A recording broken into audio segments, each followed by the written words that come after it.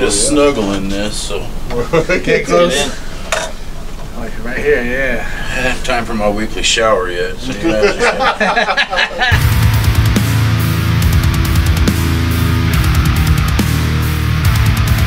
What's up, everybody? Today we're back with the guys from It's Always Sunny in Tijuana.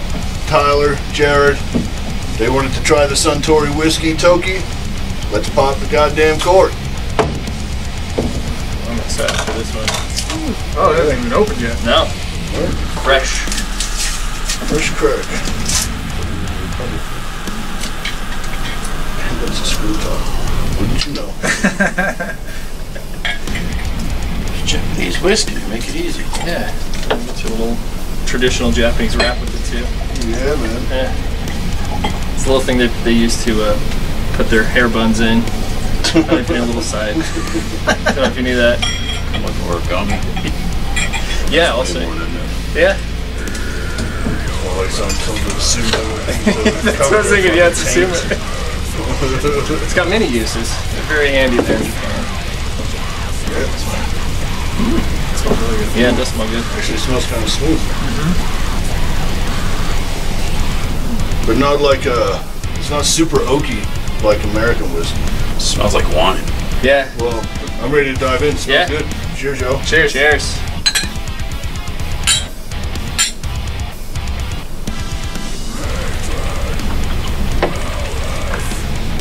Ooh, that is smooth. Yeah. That was really smooth. Yeah, I give it that. Double heat on the end though. A little bit. Yeah, but not bad. Big three amigos. I know. It smells fruity even. I don't mind it. Hmm, just like the Japanese. Boy, come on. Isn't there a song like that?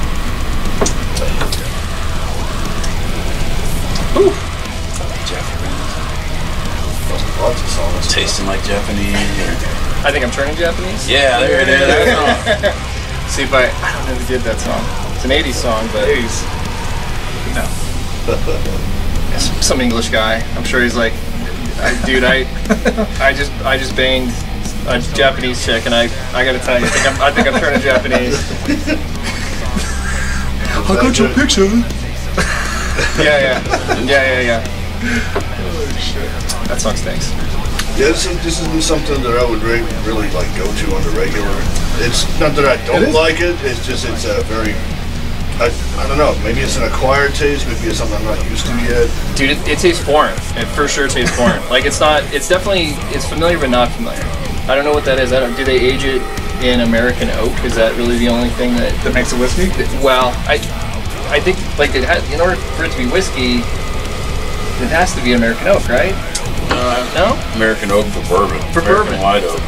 They just play fast and loose with the details when it comes to Japanese whiskey. Whiskey, I think it's just basically whatever. Oh yeah. Okay. It's good. Yeah. It's just uh, It is good. it's a different kind of whiskey. It's very wine-esque. Yeah. Yeah, I agree. It does. It does taste very wine. Wine esque. I agree with that. Yeah. What would be uh, your regular kind of whiskey that you would drink on the daily then, bro? Yeah, for well, so for for me, I do I do like the Buffalo Trace. I've been on the Buffalo Trace for for a while. I do I do dig the Buffalo Trace. It's like a good a good go-to. It's good juice. Yeah, it's not too bad. Uh, I was gonna say some of the other ones that are up here too. Weller's not bad. I, I do like the Weller, and, and I didn't really see it, but one that I actually started drinking pretty recently is the Blue Note. Uh, Blue Note. Yeah, dude, that's really really good. Oh yeah, man. I like that. That's like a straight, straight, real, real nice. It's got a, it's got a good taste to it. It's not too, too harsh, real smooth. Yeah, Yeah, I dig it. excited to crack that one. Yeah, I What do about like you, that. Jared? Uh, no. I, the basics, like Jack, really. You Is do I Jack and Cokes? My Jack Yeah. and Cokes. Yeah. Tried that new Jack Bonded.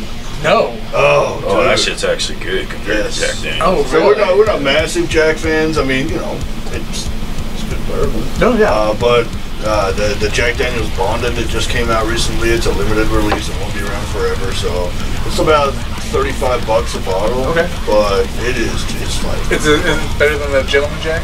Oh yeah, definitely. Oh, yeah. Way So the only the only other Jack that I've tried that's better than it is the Sinatra. Okay. The Sinatra is phenomenal. What's it called? Bonded? It's called bonded, yeah, which means it's bottled in bond. know, Okay. It has to sort of apply certain certain. See, all we have left is a triple mash.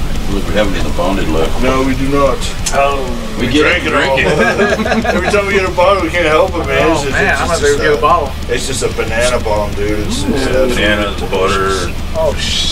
Damn. delicious. Yeah, I'm gonna check that out for sure. Mm-hmm. Damn. Sounds good. I just, I do like this. Yeah, that's not bad. I was, This is very smooth, easy to drink. if I'm in a pinch, I will say I, definitely Jack Daniels.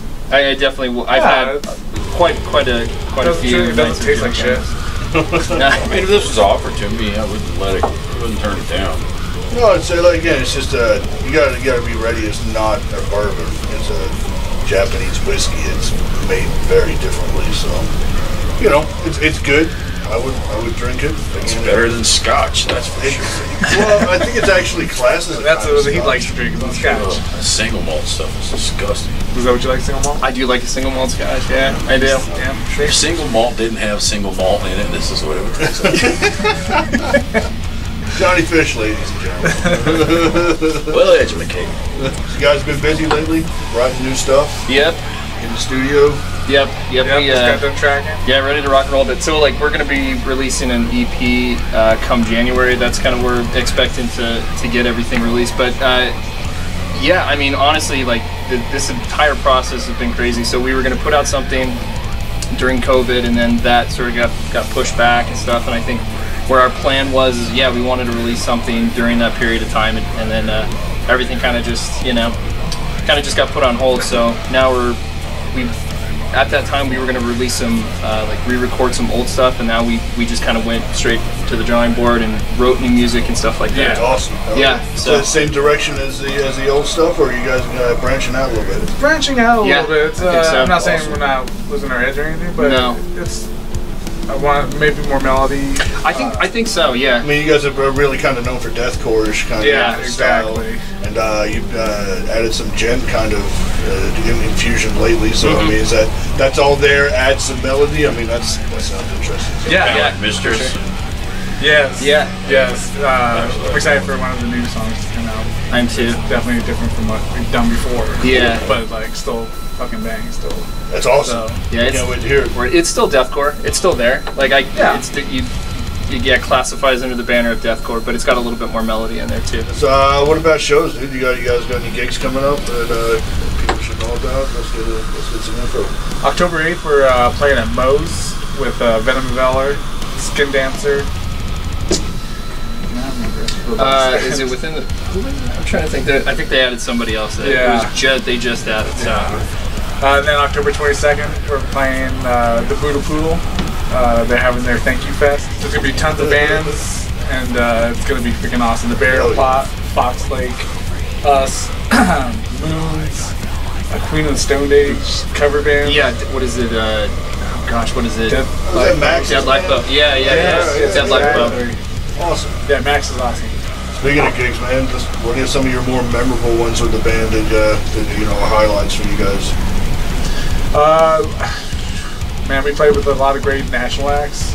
Uh, I think when we played with uh, Currents and uh, uh, Enterprise Earth. Yeah, that was that was a good show. Right in Rooms. with you guys. Yeah, Yeah, that was- that was a good killer show. show. on a Wednesday night at the Marquee, and it was sold out. was- oh man, it was a great night. So that was one of my favorites. Uh, and then like local shows wise, when we played uh, with um, Nuns Will Shudder Yeah, at the uh, Gothic. At the Gothic. That it was was a a great show, turnout for a We local got to show. play that place, man. But I've The always Goth- heard yes. that you know That's a fun. That they don't really do local local gigs there anymore. Any drunken memories that you want to talk about from being out and about? Not be drunk, you think they're gonna remember? well, you know, Or want to talk about? I'm trying to think of like a good, like a good gig where we were we were like nice and nice and toasty. Oof. There's been a few for for me for sure. But yes. There's been well, not a gig of ours, but we were in a Yeah. friend's gig. Yeah, yeah, yeah, yeah, yeah, night. yeah, yeah, yeah. I got a little. Yeah, he was pretty trash. we were drinking at his place. Yeah. oh, before the show. Yeah. oh, yeah, I was doing- car bombs. yeah, I was doing car bombs. We were doing car bombs, you know, getting ready for our friend's show. So we went to the Roxy, and then uh, you know we saw my old band play was uh, Who's Not Us. Yeah. and uh, and uh, I remember I was getting a drink at the bar, and Tyler came up to me. And he was like, hey, can you give me a ride home? I was like, yeah, for sure. And he's like, like right now.